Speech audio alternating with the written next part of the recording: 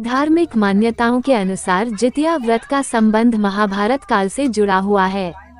पौराणिक कथा के अनुसार जब युद्ध में अश्वत्थामा के पिता की मृत्यु हो गई तो वह बहुत क्रोधित हो गया। पिता की मृत्यु का बदला लेने के लिए वह पांडवों के शिविर गया और उसने वहाँ जाकर पाँच निर्दोष लोगों की हत्या कर दी।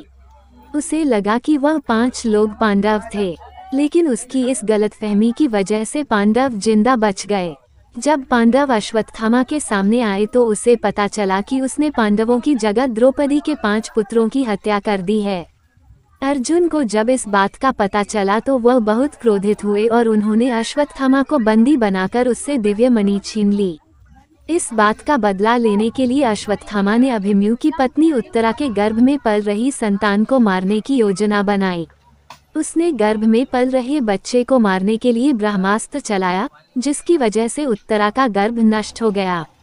लेकिन उस बच्चे का जन्म लेना आवश्यक था, इसलिए भगवान श्री कृष्ण ने उत्तरा के मरे हुए संतान को गर्भ में फिर से जीवित कर दिया। उत्तरा का संतान गर्भ में मरकर जीवित हुआ था, इसलिए इस व्रत का नाम जीवित पुत्रिका पड़ा। तभी से सभी माताएँ अपनी संतान की लंबी आयु के लिए इस व्रत को पूरी श्रद्धा से करने लगी।